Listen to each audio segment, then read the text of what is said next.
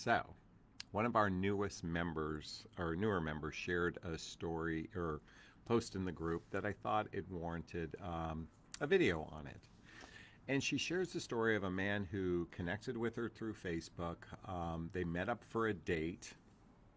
They had a really good time or had a nice time. And he intimated he'd like to see her again. And then he started, and he basically didn't follow up. And she followed up with a nice message, which is something I recommend. He expressed interest in seeing her again, and yet he hasn't pulled the trigger and pulled or moved through. So it kind of begs the question why do men act interested, but at the same time act flaky? And, and one of the things she wrote in her post that I thought would, uh, is worth sharing, she said, Question Why do I feel so lonely in this? Why does it feel one sided? Why did he hit me up again, hit me up to begin with? Why does he want, what does he want? Is he going slow? Is going slow okay? and no, there's no sex between us. What am I doing wrong? And I, I just want to say to the member that posted this, you are not doing anything wrong. What I think we all have to recognize is that when we meet total strangers, it's it's very rare that we have such a strong connection that we feel, other than when we're experiencing lust or limerence, and I'll talk about that in a second, it's very rare that we actually go, wow, I want to invest in this person, number one. Number two, there's really no incentive investing in people today because these days, basically, sex can be um, experienced for free. And what I mean is, you know, it used to be if you wanted to have, if you wanted to be intimate with someone, you had to get married. And I say used to be, I'm talking about 50, 100 plus years ago for the most part. And these days, maybe a purchase of a dinner or two can get sex. Now, why am I relating this to sex? Is because men biologically are driven by that experience of physical uh, intercourse with a person. And this is why, when there is some physical attraction, you might notice men who come on strong, love bomb, and so forth. And what they're experiencing is either lust, which is that sexual desire, or uh, limerence, which is extreme infatuation. That's why love bombing happens. And it's very easy to get uh, very um, infatuated with someone in a short period of time. So when I come back. Why do men act interested and at the same time act flaky? Well, I want to share a personal story of a woman who did this. Um, actually, this relates to my son. He shared the story where he got up the confidence to walk up to someone at recently at a um, restaurant uh, dance hall place and they struck up a conversation. They were really hitting it off. She expressed a ton of interest in him during the dancing, and whatnot, handed his phone number. And then when he called, when he texted, she didn't respond. When he called, she didn't respond. When he did one follow up text message, she didn't respond. Why would this happen? So this isn't singular to men doing this. This is equally men and women that can act interested and at the same time flaky. So I want to bring it back to what I shared earlier. It's very rare when we meet someone where we have an affinity for them, an affinity. I'm talking about, wow, this person is special. This person is different. Because the reality is, when you're meeting total strangers, it's difficult to see the differences or what makes them special. Okay? It takes time for that to develop. It used to be or and when I think of my relationship with you know my beloved right now, we didn't physically meet for over a year. We developed a bit of friendship with one another. We built a bit of trust, a bit of safety with one another that made it easy for us to see one another when we physically did meet one another. And today, when you're coming so cold, meeting someone, it's very rare that you have this affinity for them. And so what oftentimes happens is there's a slight bit of interest, but not enough to take it over the edge. And this is one of the dilemmas we are faced with today.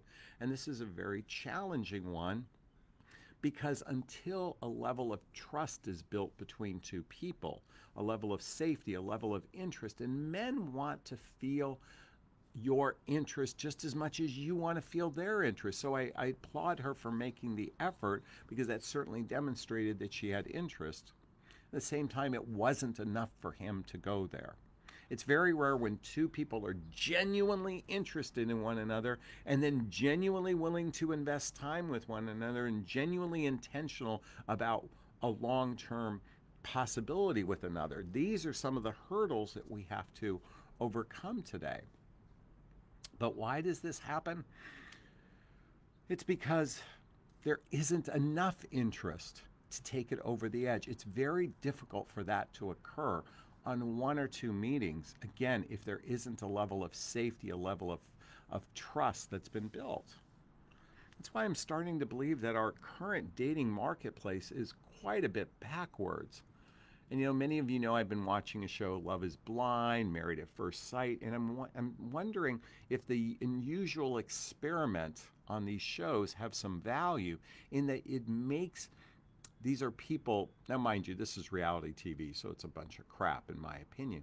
And yet at the same time, they are committed to the process. Maybe their motivations aren't uh, sincere, but I like the idea that they're committed to the process. They basically have to, they're, they have to make a substantial commitment for this dynamic, this experience to move forward. And then they're put in the incubator of living together and by the way, the best way to know someone, to actually get to know someone, is live with them. Whether we like it or not, you can date someone for three years, see each other every other weekend or every weekend or whatnot, and then once you live together, it can totally implode. I know some people that have spent years dating, got married, and the minute they moved in together, it imploded. Now, am I recommending living together with a total stranger? Absolutely not at the same time, that's how you really get to know someone. I'm experiencing that in my own relationship with my beloved. And thankfully, we were so aligned in our values, so aligned in our lifestyles, so aligned in our emotional maturity, and we have enough chemistry there to build the foundation of a relationship. Now, the reality is, we're talking about monumental, not monumental, that's not it. I think in many cases, a good, juicy, delicious, healthy relationship is the is the exception and not the rule. The rule today is a lot of short-lived uh, experiences and relationships that go nowhere. And not to say everything doesn't have value. At the same time, enough of these experiences can cause emotional wear and tear on one's heart. This is why I created my private coaching to help you avoid many of the pitfalls. That's why I created my YouTube channel to avoid many of the pitfalls so you don't go down this train of lust or limerence that many do. And also, don't go down the train of judging men because they're also just as confused as you are. What I mentioned with my son. So, what's the bottom line here? My suggestion is to have more compassion and more heart and less judgment when it comes to men. Because men, most men are doing the best job they can, they're just not good at it. This is why I always invite women to recognize that they are the emotional leaders of the relationship and you are in charge of your um, relationship destiny. And you might want to start with a simple prayer I'm experiencing an amazing, juicy, delicious relationship where we have incredible chemistry together. And our communication is off the charts, and we can banter together for hours and hours at a time. And our lifestyles are compatible with one another, and we share the same values, and we, and we have built the deep roots of trust to establish a foundation for a relationship to go the distance. This is not a, simply a prayer. This is this is what I'm experiencing. And I invite you to all come from the place of build it and it will come. All right. I think you get the gist of where I'm going today. I'd like to hear your thoughts on this. Please post a comment below if it resonated with you if you have something to share.